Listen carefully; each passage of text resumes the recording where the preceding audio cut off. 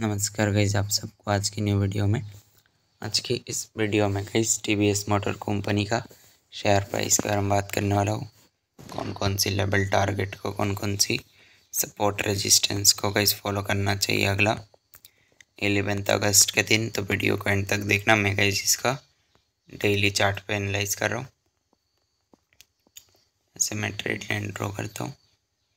यहाँ से ये गया स्टॉक अप फिर गया डाउन फिर ऊपर, फिर डाउन गया ज़्यादा चांस है इस लेवल पे सपोर्ट लेके स्टॉक अभी धीरे धीरे और भी ऊपर जाने का।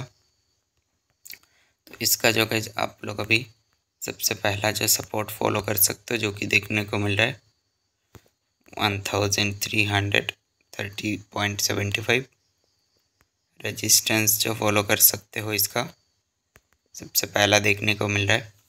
One thousand three hundred fifty two point twenty और अगर इसका ब्रेकआउट आता है, तब आप लोग इसका अगला रेजिस्टेंस जो फॉलो कर सकते हो गाइस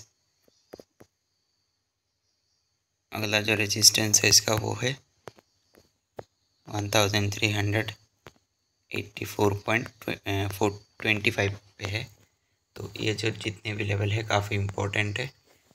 लेवल पे फॉलो कर सकते हो अगर आप लोग मुझसे कांटेक्ट करके कुछ भी जानना चाहते हो, कुछ भी पूछना है तो चैनल का अबाउट पे कांटेक्ट मिलेगा, वहाँ से कांटेक्ट कर सकते हो।